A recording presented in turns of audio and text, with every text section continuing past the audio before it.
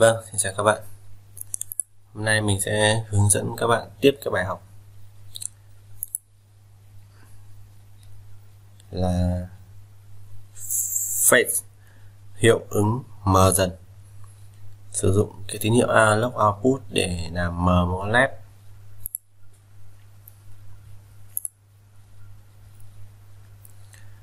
Trong cái ví dụ này thì mình sẽ sử dụng cái tín hiệu analog drive này, cái hàm analog drive này để làm mờ con led cái hàm này nó sẽ sử dụng cái điều điều chế xung và để để tắt bật một con led một cách rất là nhanh. Với một cái tần, với một cái sự khác biệt giữa on và off. Để tạo cái hiệu ứng mờ dần thì trong cái ờ, bài học này thì yêu cầu của mình gồm có một bo Arduino, một con led, một cái điện trở 220 ohm. Ở đây thì mình có hai con điện trở 120 ohm. Dây dây cắm và bit swap.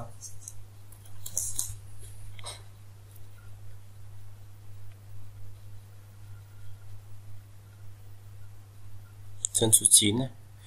Chân số 9 các bạn để ý đây nó có giống ngã thì chân này là chính là chân có thể bong sung có thể tạo ra sung. Đấy, các thân có giống ngã gồm 3, 5, 6 9, 10, 11, 12 à 11 9, 10, 11 12 không có nhé chân 9 băm với ờ, đối với một con điện trở qua qua chân một con led này. Từ led nối với âm nguồn này.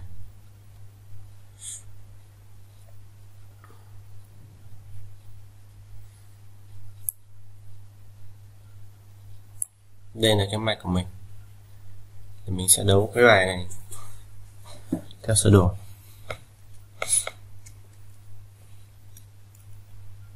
Chúng ta có hai con trở 120 ohm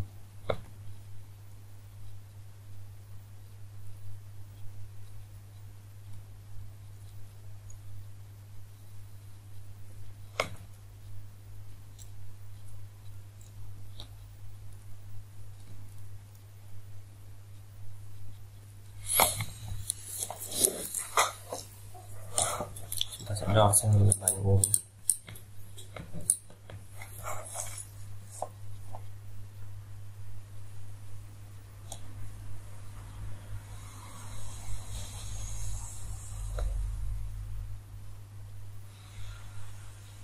năm mươi chín ôm.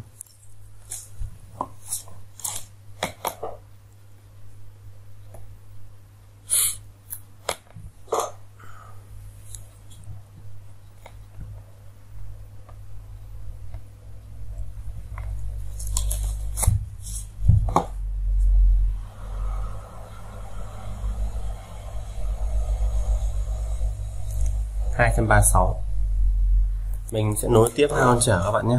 Nối tiếp hai con trở thì thì điện trở của nó sẽ lên này. sau mình nối qua con led này.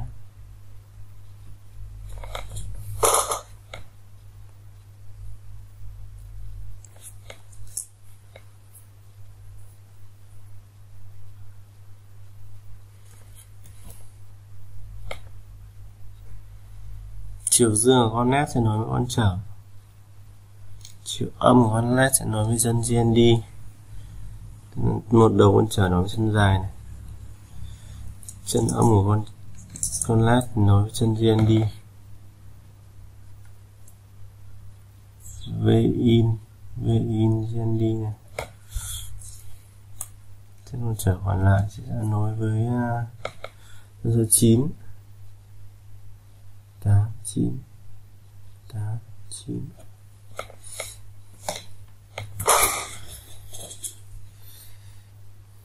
tiếp theo là cốt của nó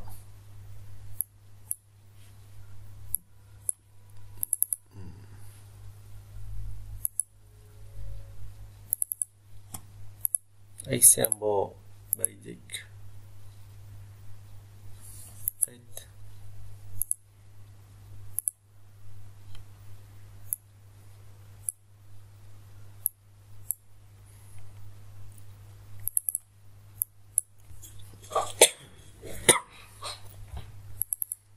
Báo chân led là chân số 9 này. Chân này là chân ờ, có thể điều chế sung này. Cái ờ, độ sáng của led bắt đầu từ không này. face amount là cái độ mờ dần. Là mình sẽ giảm 5 5 cái 5 5 số. Tổng của nó là 255 mỗi lần giảm sẽ là 5 5 lần point. Bao nhiêu cái điểm để điểm để con sáng, điểm để con led là nó mờ dần. Hàm khởi tạo thì gồm có pin mode đây là chế độ output này, hàm on bright chân số 9 và cái độ sáng bằng không. Sau mỗi lần quét thì là cái độ sáng nó sẽ tăng lên 5 lần. Nếu cái độ sáng này nhỏ bằng không hoặc là cái độ sáng này lớn hơn hoặc bằng 255 thì cái fader mount này sẽ bằng trừ fader mount tức là cái này nó sẽ trừ 5 lần cái này. Và delay 30 mili giây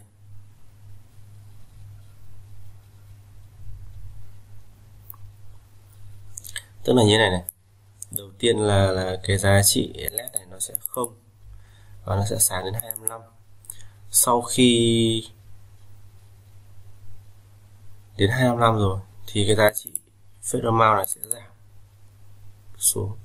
Nó sẽ giảm xuống 5 khi nào mà đến không thì nó lại quay ngược trở lại nó sẽ sáng dần đến 255 ý của cái chỗ cái vòng lặp ít này là, là như vậy. Mình sẽ thử cho các bạn nhé.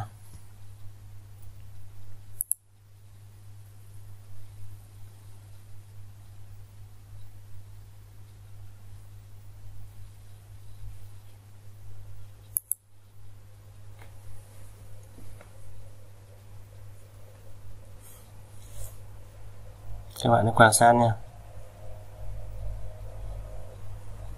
Con led nó sáng. Con led nó tối xong sáng lên dần. Không từ sáng nó lại giảm về tối, xong lại sáng lên này Đấy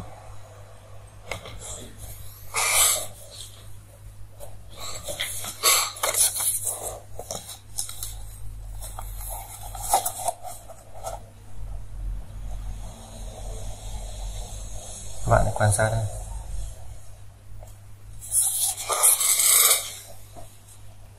Bài lắp hướng dẫn của mình đến đây là kết thúc. Chúc các bạn có một buổi học vui và bổ ích. Nếu bài học thấy hữu ích thì các bạn à, hãy đăng ký và chia sẻ cái video này. Cảm ơn các bạn đã theo dõi.